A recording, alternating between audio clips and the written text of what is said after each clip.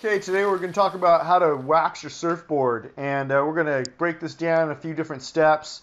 We're going to start off by talking about how to choose the best wax, the types of wax combs, the process of removing old wax from your surfboard, and then basically how to apply your wax to your surfboard. So I'm going to pull my board out of the bag and uh, get it ready so I can begin the process.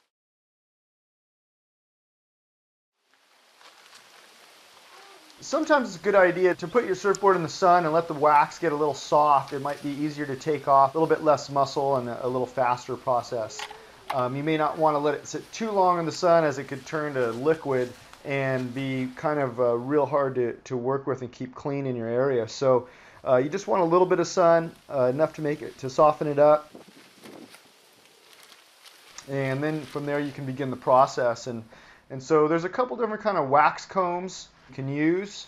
There's not a whole lot of variation in wax combs. There are a couple different features that you might find, and one of those would be a wax comb that has more of an ergonomic uh, handle to it, which might make it easier for the removal process. At the same time, I, I usually prefer a wax comb that has longer teeth, which makes it easier to go ahead and grind up and grate the existing wax that you may have on your surfboard and as you're removing the wax, it's a good idea to consolidate the wax to keep your area clean and make it easy to dispose of. So a lot of times I'll get out a paper towel or, uh, or some recycled plastic or paper that's around and I'll go ahead and make a ball of wax out of the old wax that I'm going to discard.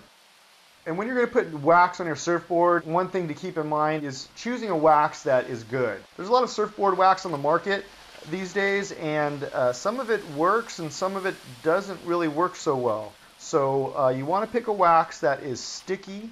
Uh, if your wax is put on and it makes, uh, you know, and it, and it, covers your board, but yet uh, it doesn't have much of a stick factor to it, or possibly loses its stickiness factor with one or two sessions, then it's probably not the wax for you. Today I'm going to use some sticky bumps. Sticky Bumps is manufactured by Wax Research Inc. Uh, Sticky Bumps is not one of our sponsors, so we're not getting paid to uh, give you this information. I'm just providing you with uh, what I actually use when I'm out there surfing. So Sticky Bumps is a good good one to use. There's a, there's other good ones as well, but uh, Sticky Bumps hasn't let me down yet. It's also important to choose a wax that's categorized with the right temperature range for the areas that you're going to be surfing in.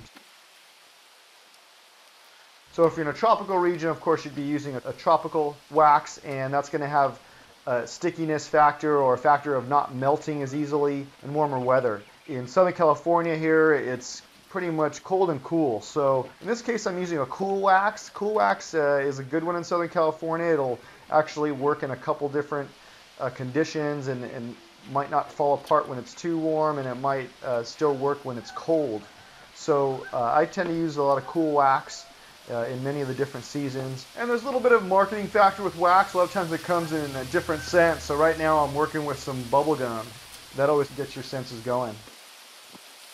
When preparing to apply new wax to your surfboard, you want to draw out the best coverage area for your stance and your surfboard. And as a general rule, I'd probably say it's uh, safer to overestimate the coverage area. The last thing you want to do is be out there catching the perfect wave and all of a sudden your foot's in a little bit different position and you slip and, and fall and, and, are unable to recover. So it's hard to lose when you go with a little extra wax on your board and can also help you avoid injury. Uh, slipping on your surfboard uh, can, is a common cause for pulling muscles and injuring ankles and knees and uh, legs. So I like to draw out my front foot area on the deck of the surfboard and I actually draw out a little section that's right above my foot pad on the tail of the surfboard as well as sometimes my back foot might need to adjust depending on the wave and depending on the situation.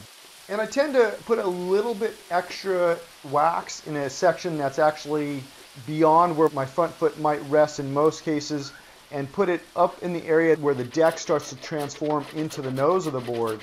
This sometimes gives you a little extra insurance for your stance. It's also good for doing aerials, as many aerialists tend to go with a wide stance. The last tip to consider would be to add a thin strip of wax on the rails along the nose of your surfboard as it helps with duck diving and getting a better grip.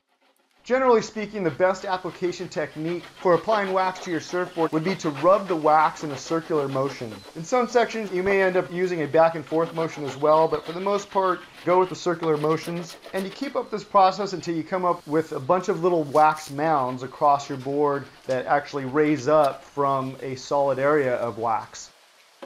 And after your initial waxing, it's a good idea to apply additional wax and comb your surfboard prior to each surfing session.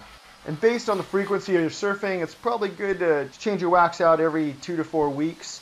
Uh, wax can last longer. There are some people out there that boast about uh, how many years they've had the same wax on their surfboard. So it really does vary, but uh, probably for the best stickiness with the least amount of weight added to your surfboard, uh, it's going to be uh, something that you should do, you know, once a month, once every other month at the latest. So. One of the options that's not featured in this video would be the use of Chief Firewater, uh, which is a wax remover. And Chief Firewater is something that you would do after scraping all the wax off. You would apply Chief Firewater, use a paper towel to then wipe down your board and remove any residue from your previous waxing. A lot of times that step is added when somebody wants to get a complete replacement of wax or if you're removing and adding a new traction pad or if you're adding any stickers to your surfboard, it's a good idea to go ahead and clean the area off completely prior to doing that. That way your sticker will stay on there. And you have to keep in mind that surfing is a dangerous sport. Uh, you pretty much surf at your own risk.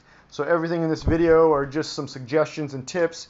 Uh, ultimately, you're going to have to figure out what works best for you and uh, go with what's going to allow you to be the safest and perform the best.